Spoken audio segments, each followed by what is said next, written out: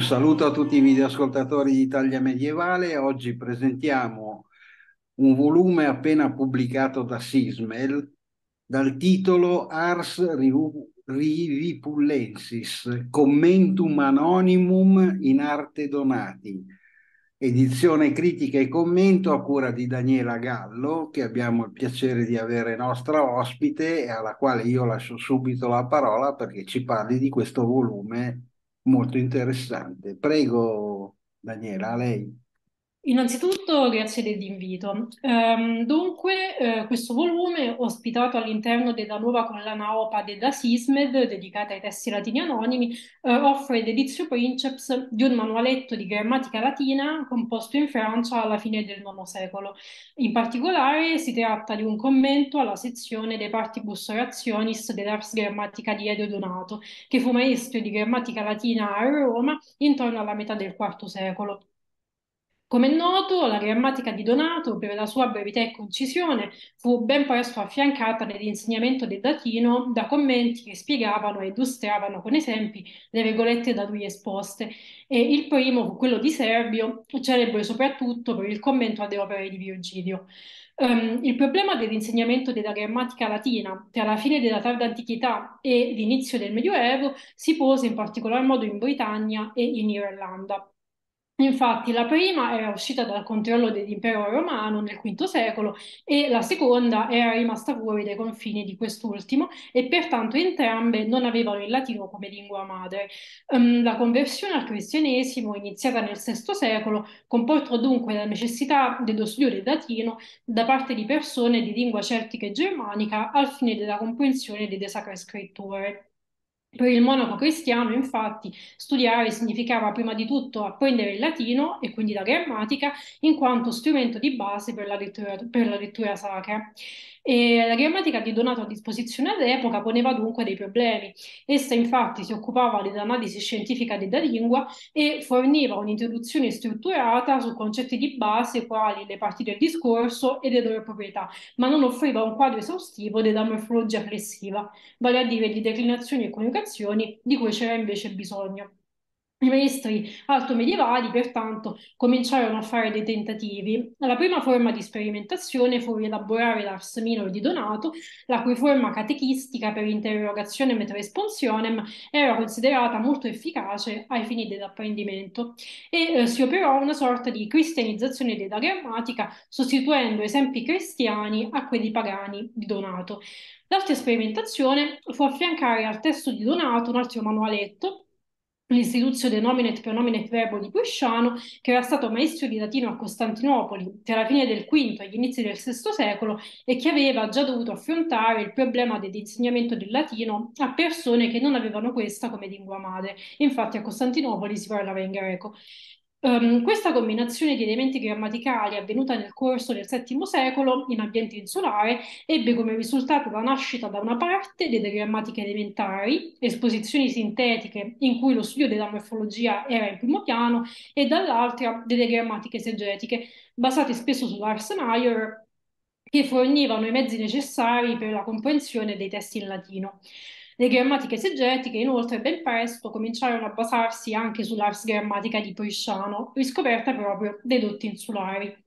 L'alleanza tra i monaci benedettini insulari e i sovrani franchi nell'VIII secolo poi ebbe per oggetto sia la missione dell'alfabetizzazione dei cristiani, sia l'estensione del controllo franco sulla Germania. I contatti tra le isole del continente e quindi l'emigrazione degli insulari nel Regnum Francorum si intensificarono a partire dalla fine dell'VIII secolo e soprattutto nella metà del IX, quando l'Inghilterra e l'Irlanda furono sconvolte dalle incursioni dei vichinghi. Questo comportò anche il trasferimento di maestri insulari in Francia che presero il nome di Scotti Peregrini, Clemente Scoto, Moore, Taccasidurio Scoto, per fare qualche nome, alcuni dei quali avrebbero rivestito un ruolo preminente negli studi grammaticali e avrebbero rappresentato dei modelli importanti per i grammatici attivi sul territorio franco. Del resto, proprio Carlo Magno fu ispirato da un dotto insulare, Alcuino di York, per le sue riforme culturali, che dettero grande impulso allo studio della grammatica, che, eh, ripetiamolo, era, era, fondamentale, tra l'altro, per la lettura e la comprensione della Bibbia e delle sacre scritture. Alcuino infatti sosteneva che la grammatica fosse iano artium, in quanto propedeutica alle altre arti liberali. Nel contesto quindi dell'insegnamento del latino di età carolingia appena descritto, si colloca la composizione dell'opera intitolata Ars Revipullensis.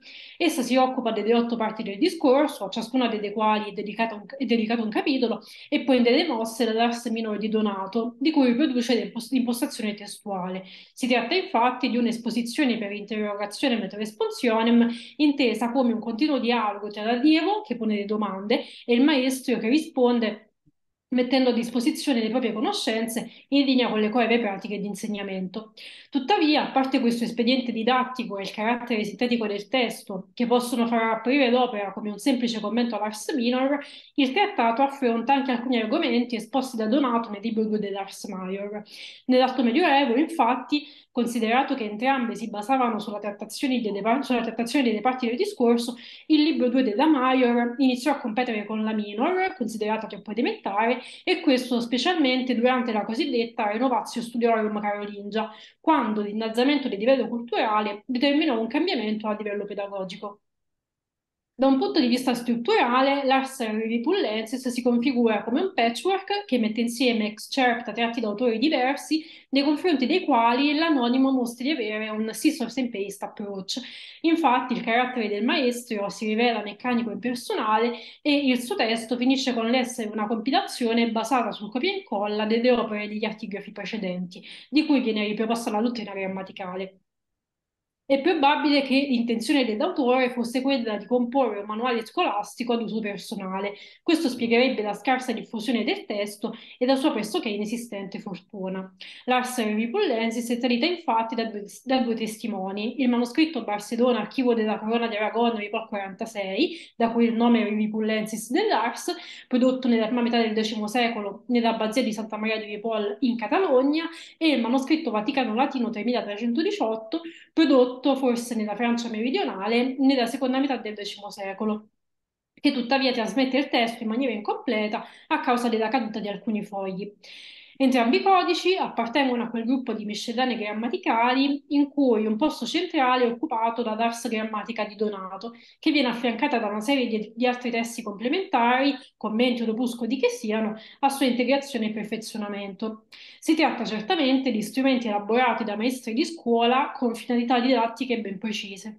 Le due raccolte, infatti, sono caratterizzate da una prima sezione costruita sullo studio delle parti orazioni e sulle regole di flessione e impegnata è imperniata sull'Ars minore di Donato e da una seconda parte che invece si concentra sullo studio degli elementi di base della parola e sulle questioni prosodiche, nonché sulla riflessione su vizi e virtù del discorso, che ruota invece intorno all'Ars Major. Um, l'impostazione pedagogica e contenutistica dei due manoscritti, che possiedono alcune appendici in comune, costituisce senza dubbio un indizio della loro profonda affinità. Tuttavia, per ciò che attiene più spe- specificamente al testo dei Ars Revipullensis, essi non dipendono, non dipendono l'uno dall'altro. Dalla collazione è emerso infatti che il manoscritto di Ripoll non può essere l'antigrafo del Vaticano sulla base di una serie di errori presenti nel primo ma non nel secondo, non correggibili per congettura. Inoltre il testo dell'opera ha subito alcune corruzioni già nella fase più antica della sua trasmissione. Esso infatti, nella veste in cui già è pervenuto, mostra numerosi fraintendimenti nella trascrizione, che appare poco consapevole, semplificazioni e omissioni, errori questi che sono condivisi da entrambi i testimoni e che dimostrano che essi discendono da un archetipo corrotto che rappresentava solo una copia dell'originale.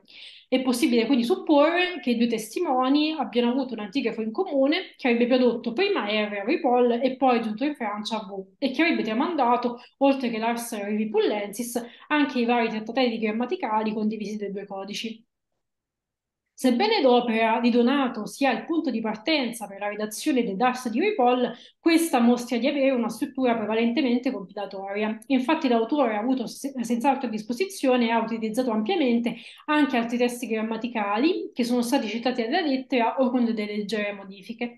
Dall'analisi delle fonti emerge che l'Ars Grammatica di Bresciano è l'opera più sfruttata dal commentatore, che invoca sovente l'autorità del grammatico di Costantinopoli, pur nominandolo esplicitamente solo poche volte. Del resto, l'impiego dell'opera poliscianea all'interno del contesto della didattica del latino è un tratto caratteristico delle grammatiche di età carolingia. Per quanto riguarda invece i grammatici contemporanei all'anonimo, hanno ricoperto un ruolo importante per la composizione dell'Ars, Smaragdo di San Miel, Seduvio Scoto e soprattutto Remigio di Auxerre, di cui si è cercato di evidenziare le affinità testuali con specifici rami della tradizione. L'analisi del testo dell'opera e lo studio dei rapporti con i commenti dei predecessori hanno permesso di formulare importanti ipotesi a proposito dell'epoca e del luogo della sua composizione. Come detto all'inizio, l'Ars Redipullensis è stata scritta probabilmente verso la fine del IX secolo. Sostengono questa datazione alcuni elementi interni ed esterni al testo. Il primo si trova nel capitolo De Nomine, eh, dove a proposito del nome proprio e dei quattro nomina in cui esso è diviso, eh, l'anonimo mostra l'esempio Imperator Carolus Francus Prudens. Lo stesso esempio si legge nel libro In partibus donati di Smaragdo, che rappresenta la fonte dell'anonimo per l'intera trattazione sui nomi comuni e sui nomi propri. In Smaragdo, che ha composto il proprio commento nel primo decennio del IX secolo, il riferimento è senza dubbio a Carlo Magno e la data viene dunque a costituire un primo terminus post-quem per la datazione dell'Ars. Il secondo elemento che permette di spostare più avanti la data di stesura di quest'ultima è rappresentato dalla conoscenza da parte dell'anonimo maestro dei commenti a Donato di Sedulio e di Remigio, composti nella seconda metà del IX secolo. La datazione del manoscritto di Barcellona, prima metà del X secolo, rappresenta invece il terminus antequem. Per quanto riguarda il luogo di redazione del testo, ho ipotizzato che esso sia da vedersi in Francia. Ancora nel capitolo De Nomine, nella parte dedicata ai nomina patrie, la fonte Smaragdo menziona a Roma Romanus, a Spagna Spanus, a Troia Troianus, mentre l'anonimo mantiene Romanus e ma sostituisce Troianus con un più logico Francus, quindi scrive a Francia Francus. Il maestro infatti potrebbe aver deciso di dare un'impronta personale al suo testo, inserendo tra gli esempi il proprio etnonimo o quello del popolo presso il quale risiedeva all'epoca della redazione dell'opera.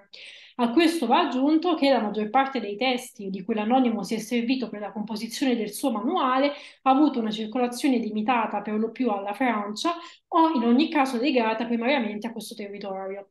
Ciò permette di ipotizzare un'origine francese del trattato, contrariamente a quanto sostenuto finora dagli studiosi, che collocavano invece la redazione del testo nell'Italia settentrionale sulla base della presenza nel capitolo di Adverbio di nomi di città italiane quali Milano, Pavia, Piacenza e Todi.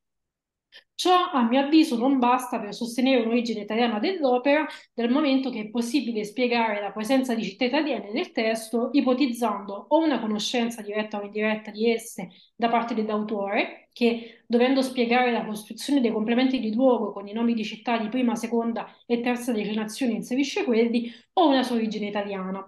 Del resto, l'analisi delle fonti ha dimostrato che per la stesura della parte relativa agli avverbi di luogo, l'anonimo ha avuto a disposizione un codice appartenente alla famiglia X della tradizione del commento di Remigio Lars Minor.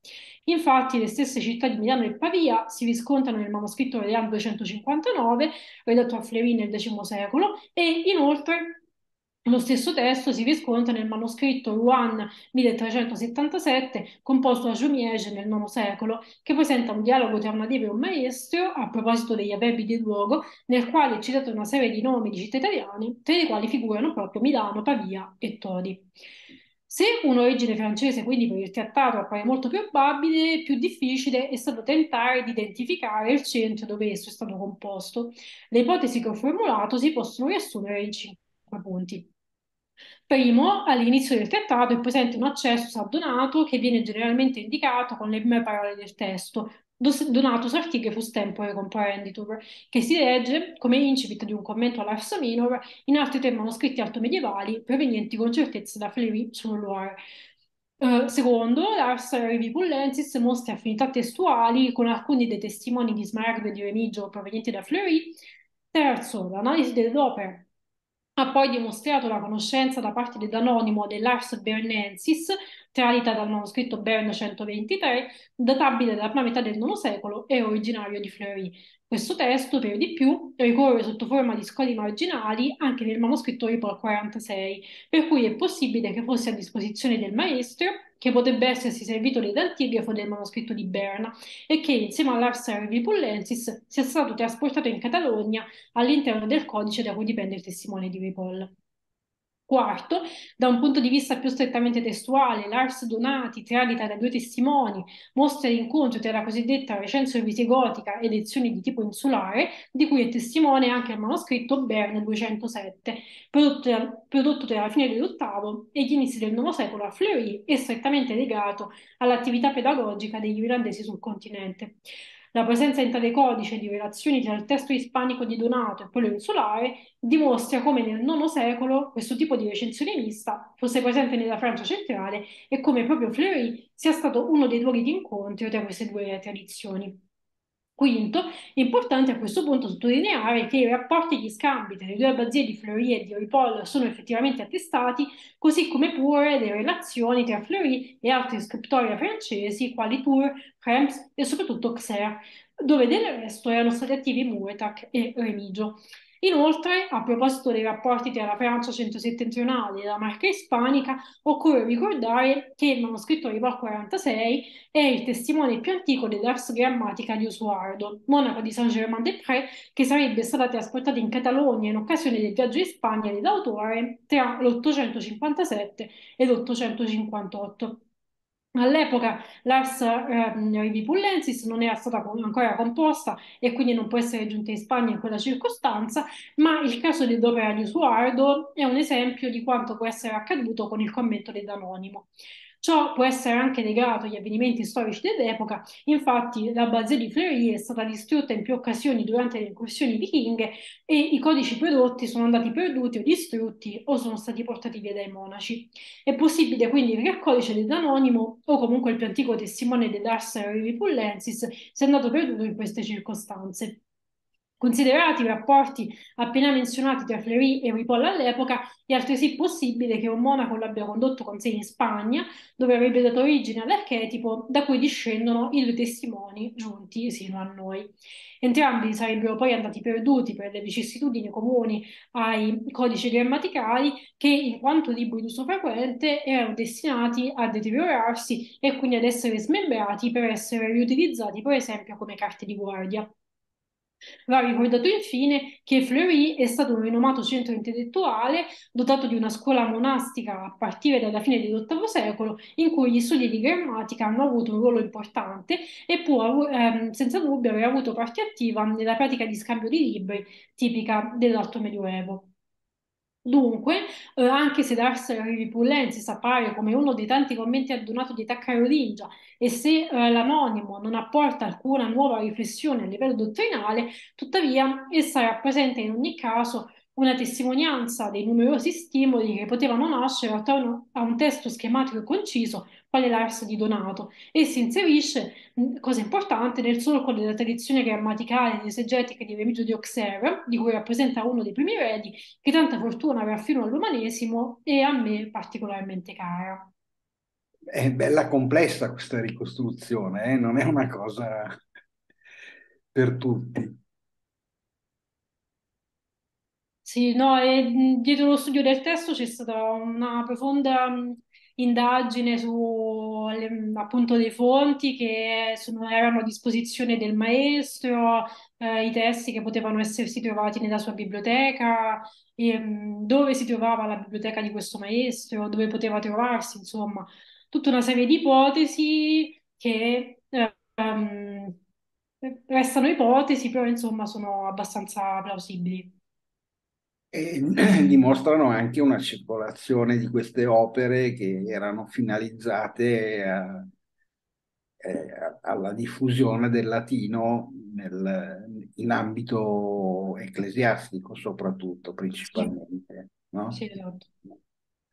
Eh beh, interessante, eh? quindi consigliamo l'acquisto di questo volume perché è il modo migliore per poterlo eh, assorbire quello di leggerlo. Sì, sperando che sia una lettura piacevole e utile. Utile sicuramente, piacevole probabilmente. Bisogna mm, immergersi con, con grande volontà di, di comprendere.